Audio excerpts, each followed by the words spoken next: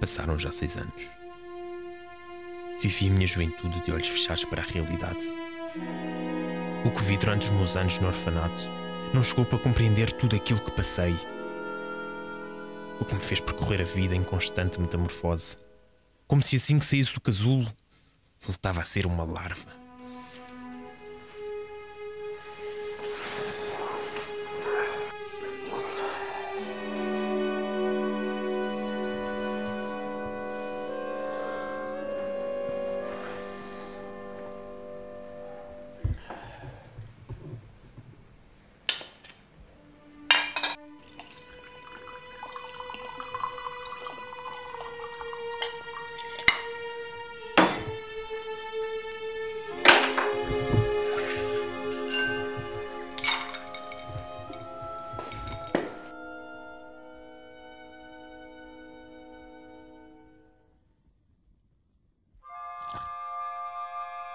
Perdi a conta das vezes que disse que ia parar de fumar, de beber, de prometer que não iria cometer o mesmo erro duas vezes.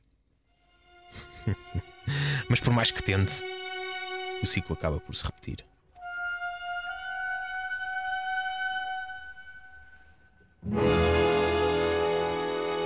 Foda-se, Pedro.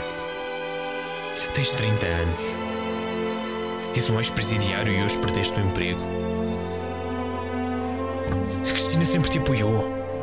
Não merece ser envolvida nesta situação. Arranja uma solução.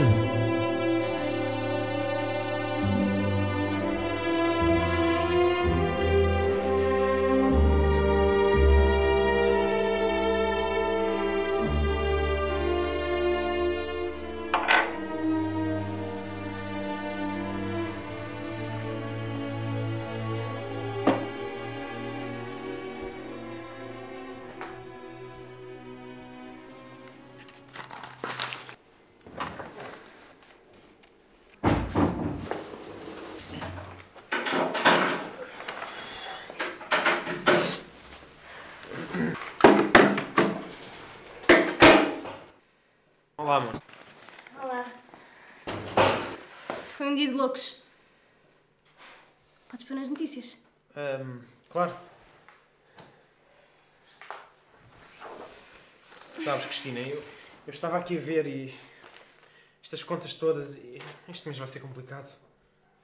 Então. Não te preocupes com isto. Nós conseguimos sempre arranjar solução. Confias em mim? Claro, tu sabes, sabes que sim. Vai, não te preocupes mais com isso. Eu vou tratar do jantar. Podes pôr as notícias mais alto para eu ouvir. Sim, claro. Até já.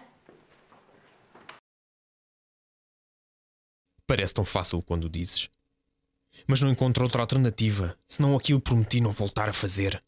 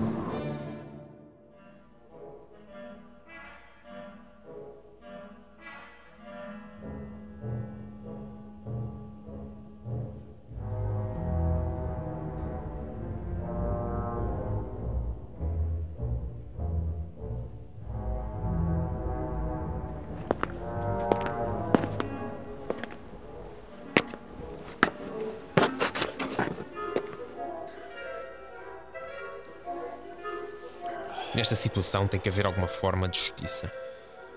Não gostaste de mim desde que soubeste o meu passado. E qualquer razão era válida para me despedir.